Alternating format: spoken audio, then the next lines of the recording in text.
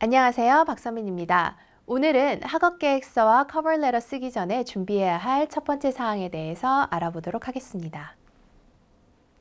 오늘의 학습 목표입니다. 학업 계획서, 즉 SOP를 쓰기 전 내가 지원할 대학과 학과에 대한 정보를 충분히 숙지하는 것에 대한 중요성을 이해합니다. 네, 일단 학업 계획서, 어, SOP죠. Statement of Purpose를 준비하기입니다. 지원하고자 하는 학과에 대해서 그리고 학교에 대해서 조사하여야 합니다. 그 얘기는 뭐냐면요.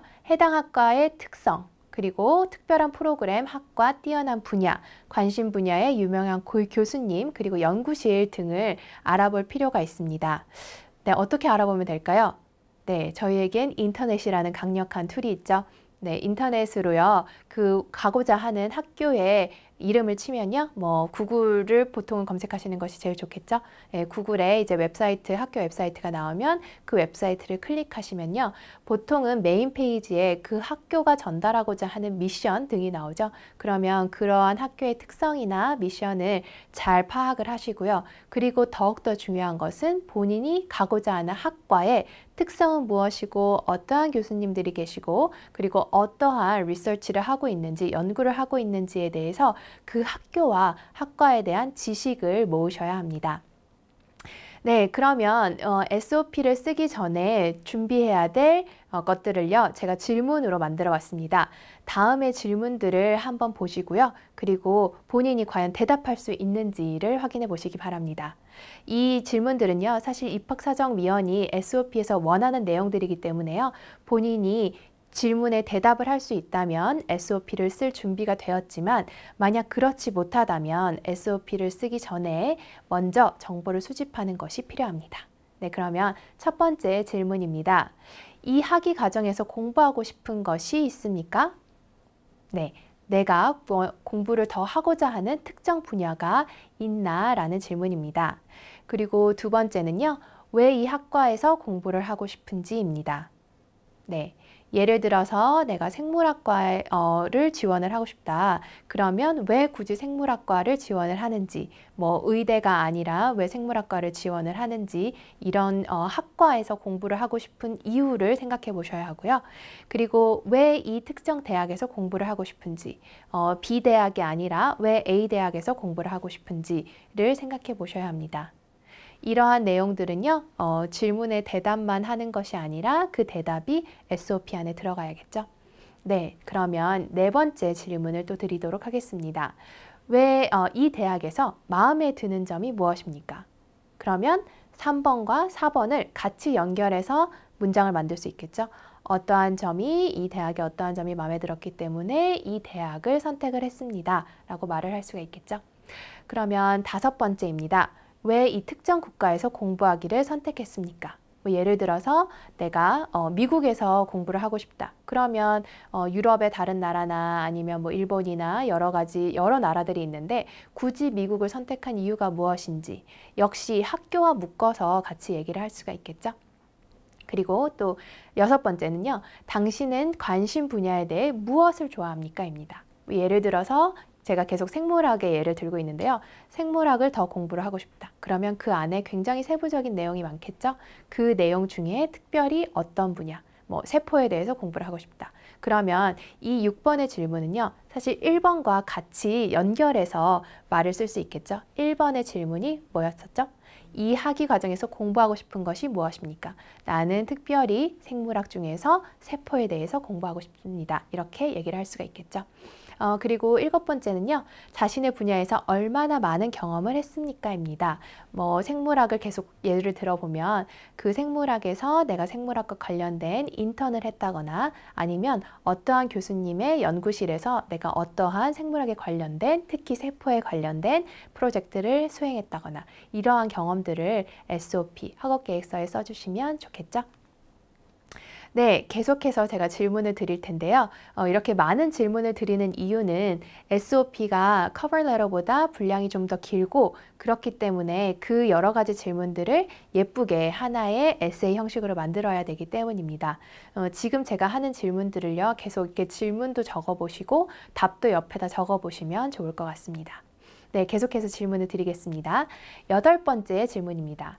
자신의 경험이 당신의 학위 선택과 어떻게 관련이 있습니까? 입니다. 예를 들어서 내가 예전에 어떠한 교수님의 연구실에서 연구를 했었는데 그때 세포에 관심을 갖게 돼서 그래서 제가 세포에 대해서 조금 더 공부를 하고 싶습니다. 이런 식으로 연결이 될 수 있겠죠. 그 다음 아홉 번째입니다. 이미 경험이 있다면 왜 경험이 있는데 그 학위에서 얻고자 하는 그 추가적인 기술은 무엇입니까?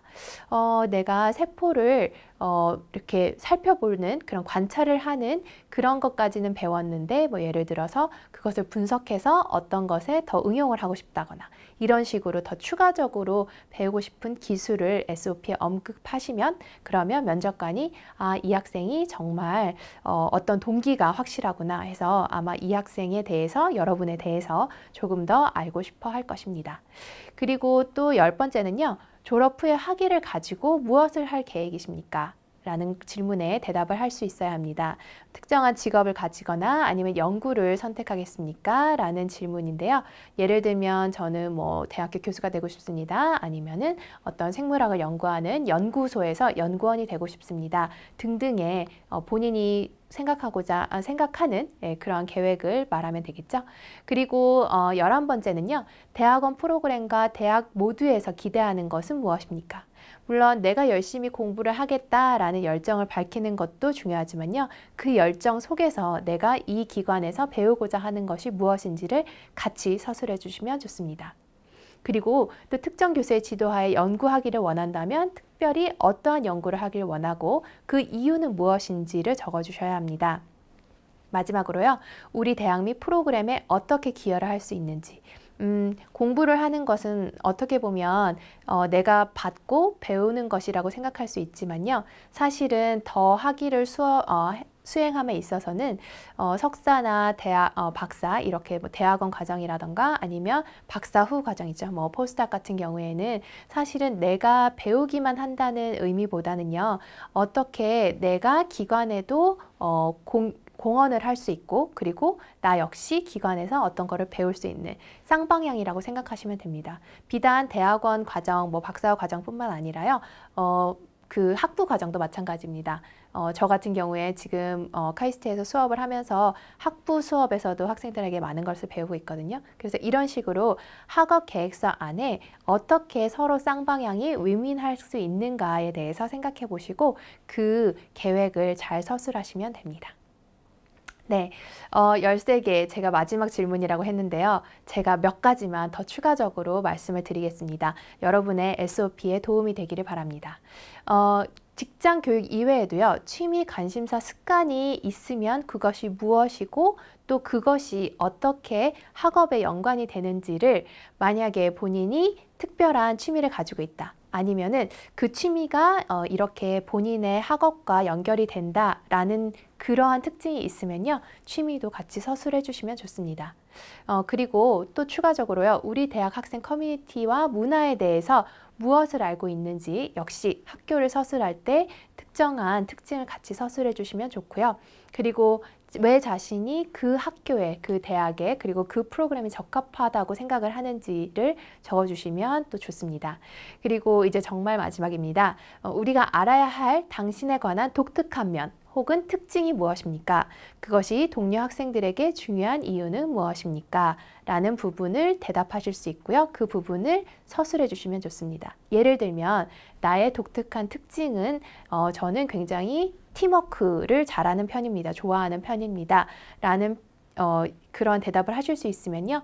이러한 것이 동료에게 어떻게 중요한지 어, 팀워크를 잘하기 때문에 다른 동료들과 함께 어, 더 좋은 결과물을, 더 좋은 연구 결과를 낼 수 있겠죠.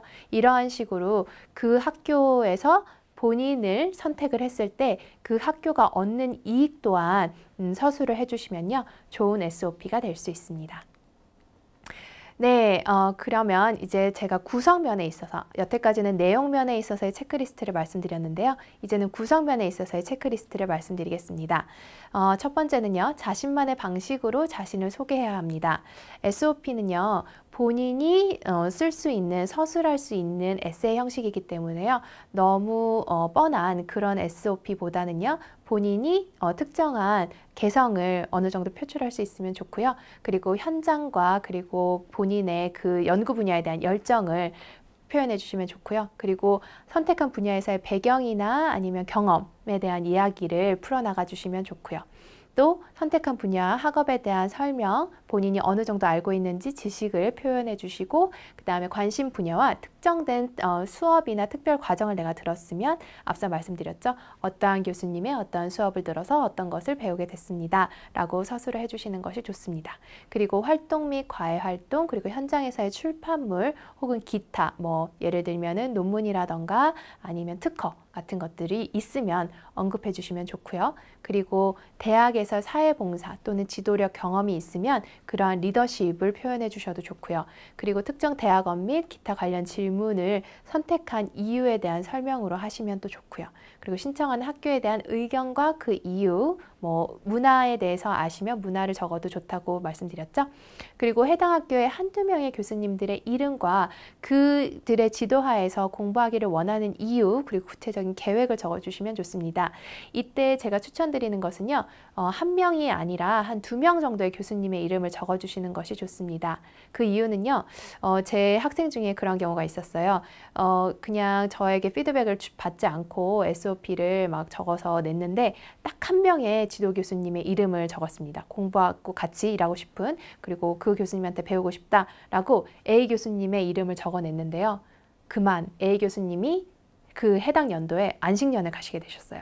그래서 그 해당 교수님이 계시지 않기 때문에 학교 입장에서는 어? 이 교수님 안 계신데? 그럼 이 학생은 뽑으면 안 되겠다. 이렇게 되는 거죠. 그러니까 어, 조금 더 여유 있게 어, 한두 명 정도의 교수님의 이름을 써주시는 것이 좋습니다. 그리고 개인적으로 매력적이라고 생각하는 대학원 프로그램의 그런 특징, 그리고 이유를 적어주시면 좋고요. 그리고 마지막으로 교수님 가족 및 친한 친구 몇 명에게 조언과 자신에 대한 이야기를 물어보는 것이 좋습니다. 나를 아는 것은요, 나뿐만 아니라요, 제3자가 바라보는 내가 또 다를 수도 있습니다. 그래서, 음, 제가 지금 유학을 준비하는데 혹은 학업을 더 하고 싶은데, 음, 교수님 제 장점이 뭘 까요? 아니면 룸메이트한테 내 장점이 뭘까? 라고 하면 의외로 여러분들이 여태까지 생각하지 못했던 장점을 얘기해 줄 수도 있습니다. 네, 어, 추가적인 팁을 제가 몇 개 더 드리도록 하겠습니다. 진술서라기보다는요, 이야기하듯이 작성하는 것이 좋고요. 그리고 증명할 수 있는 이야기를 하려면 정량적인 수치화가 필요합니다. 예를 들어서 어, 어떠어떠한 어, 수업을 듣고 어떠한 프로젝트를 행해서 뭐 예를 들어서 상을 받았다거나 아니면 어떠어떠한 뭐 얼마만큼의 프로젝트 그 지원금을 받았다거나 이런 식으로 어, 숫자할 수치화할 수 있는 부분은 수치화해 주시는 것이 좋고요. 어, 그리고 역시 자신만의 에세이이기 때문에 어, 형식을 지키면서도요. 조금 더 회화적인 톤을 사용하는 것이 좋습니다. 어, 자신을 어떻게 묘사하고 싶은지를 정하고요. 간접적으로 묘사하는 방법을 익혀야 합니다. 어, 역시요. 에세이라는 것은요. 본인의 얘기입니다. 그래서 제가 이력서보다는 조금 더 자신을 주관적으로 묘사할 수 있다고 했지만 그렇다고 해서 거짓말을 해서는 안 됩니다. 자신의 이야기여야 하겠죠? 네, 그리고 반복적으로 했던 말을 또 하고 또 하고 할 필요는 없습니다. 천 단어 정도 그 이상으로 제한이 돼 있기 때문에요. 한 번 했던 말은 굳이 또 중언부언 하지 않으시는 것이 좋고요. 그리고 교정, 제가 교정의 중요성을 이력서에서 말씀드렸죠. 교정하고 편집하고 그리고 또 다른 사람한테 보여주고 또 피드백을 받아서 또 수정하고 이렇게 친구들이나요 가족들에게 에세이를 평가해 달라고 하거나 혹은 담당 교수님이나 아니면 전문가에게 꼭 평가를 받아보시고 마지막까지 제출하기 전에 마지막까지 수정을 하시기 바랍니다. 네, 오늘은요. 학업 계획서 cover letter 쓰기 전에 준비사항, 특히 학업 계획서를 쓰기 전에 준비해야 할 사항에 대해서 알아봤고요. 다음 시간에는 cover letter 쓰기 전에 준비해야 될 사항에 대해서 알아보도록 하겠습니다. 감사합니다.